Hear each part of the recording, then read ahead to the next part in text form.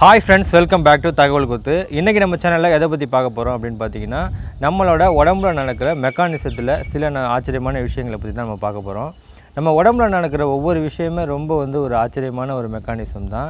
என்ன தான் வந்து ஒரு ரோபோட்டை வந்து ஒரு சயின்டிஸ்ட் உருவாக்கினாலும் உண்மையிலே ஒரு மனிதரை வந்து அந்த சயின்டிஸ்டால் உருவாக்கவே முடியாது. ஏன்னா ஒரு மனிதன்ட்டையும் எந்த ஒரு தாவரங்கள் உயிரினங்கள் விலங்குகள் எதுவாக வேணாலும் இருக்கட்டும் அது உடம்புல நடக்கிற மெக்கானிசத்தை வந்து யாராலையுமே நம்ம வந்து மனிதர்களால் அது மாதிரி வந்து க்ரியேட் பண்ணவே முடியாது. இது வந்து ஒரு அற்புதமான ஒரு க்ரியேச்சர் அப்படின்னு சொல்லலாம். அதாவது நம்ம உடம்புல என்ன ஒரு இதுனாலும் அது நமக்கு தானே நம்ம உடம்பு ஏற்படுத்திக்கிறதுங்கிறது ரொம்ப ஒரு ஆச்சரியமான விஷயம். இப்போ ரொம்ப நேரம் நம்ம தண்ணியில் நின்னோம் அப்படின்னா அந்த குளிர்ச்சியில் வந்து நம்ம கை வந்து வளவளன்னு ஆகிடும் அப்போ வந்து அந்த க்ரிப்புக்காக ஆட்டோமேட்டிக்காக நம்ம தோல் வந்து சுருங்குது. ஸோ அந்த சுருங்கினா தான் அந்த க்ரிப்பு கிடைக்கும் அப்படிங்கிறதுக்காக தான் ரொம்ப நேரம் தண்ணியில் இருக்கிறவங்க கையை பார்த்தீங்கன்னா அவங்க வந்து சுருங்கியிருக்கு.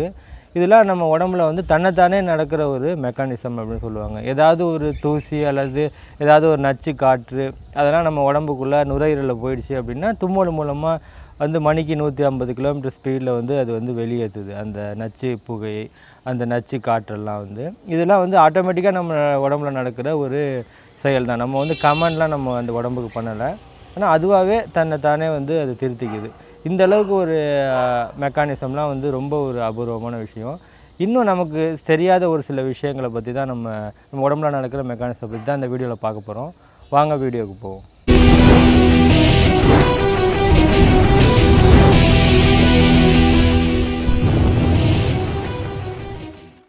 மனித உடலோட வளர்ச்சி அப்படிங்கிறது இருபத்தோரு வயது வரைக்கும் மட்டும்தான்.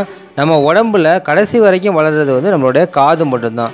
ஒரு மனிதன் வந்து ஆயிரம் வயது வரைக்கும் இரு உயிர் வாழ்ந்தான் அப்படின்னா அவனுடைய காது மட்டுமே ஒரு குட்டி யானையோடைய காது அளவிற்கு வளர்ந்துருக்கும் அப்படின்னு சொல்கிறாங்க ஒரு சராசரி மனிதனோட உடலில் உள்ள மொத்த ரோமங்கள் வந்து மொத்தமாக அஞ்சு லட்சம். உடல்ல ரோமங்கள் இல்லாத இடங்கள் அப்படின்னா நம்மளுடைய உள்ளங்கை உள்ளம் கால். நம்ம உடம்புல உள்ள ரோமங்கள் வந்து ஒரு மனித குரங்கிற்கு உள்ள ரோமங்கள் அளவுக்கு அதே அளவில் தான் இருக்கு. ஆனால் நம்மளுடைய உடம்புல உள்ள ரோமங்கள் வந்து ரொம்ப மெல்லிசாகவும் நீளம் ரொம்ப குறைவாகவும் இருக்கு. மனித குரங்கில் உள்ள ரோமங்களுக்கும் நமக்கு உள்ள ரோமங்களுக்கும் அது மட்டும்தான் வித்தியாசம் அப்படின்னு சொல்கிறாங்க பகலில் நம்ம ஆயிரக்கணக்கான முறை வந்து கண்ணை சிமிட்டுறோம்.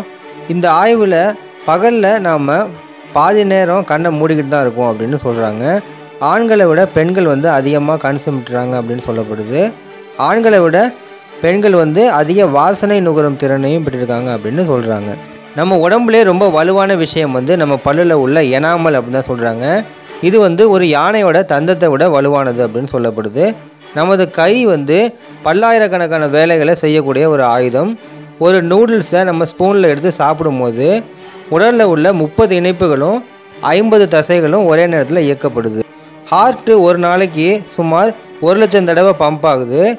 ஒரு ஆண்டுக்கு நாலு கோடி தடவை வந்து ஹார்ட்டோட லெஃப்ட் சைடை விட ரைட் சைடு வந்து கொஞ்சம் பெருசாக இருக்குது டோட்டலாக நம்ம உடம்புல நாலு அவுன்ஸ் சர்க்கரை ரெண்டு ஸ்விம்மிங் பூலை டிஸ்போஸ் பண்ணுறதுக்கு தேவையான குளோரின் மூணு பவுண்டு கால்சியம் இருபதாயிரம் தீக்குச்சிகள் உருவாக்குறதுக்கு தேவையான பாஸ்பரஸ் பத்து சோப்புகளை உருவாக்குறதுக்கு தேவையான கொழுப்பு ஒரு ஆணியை உருவாக்குறதுக்கு தேவையான இரும்பு இதெல்லாம் நம்ம உடம்புல இருக்குது கர்ப்பிணிகள் கனவுல வந்து பூந்தொட்டி செடிகள் தவளை புழுக்கள் அதிகமாக வருது அப்படின்னு சொல்லப்படுது.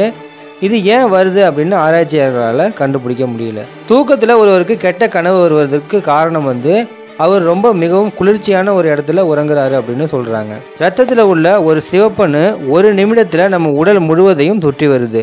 மனித எலும்புகள் வந்து கான்கிரீட்டை விட வலிமையானது அப்படின்னு சொல்கிறாங்க மனிதன் ஒரு நாளைக்கு சுமார் பத்தாயிரம் லிட்டர் காற்றை வந்து சுவாசிக்கிறான் அப்படின்னு சொல்கிறாங்க பயனில்லாத உறுப்பு அப்படின்னு நம்ம சொல்லப்படுற குடல் வால் வந்து உணவை செரிக்க செய்யறதுக்கான பாக்டீரியாவை உற்பத்தி செய்யுதுன்னு சமீபத்தில் நடந்த ஆய்வில் கண்டுபிடிச்சிருக்காங்க.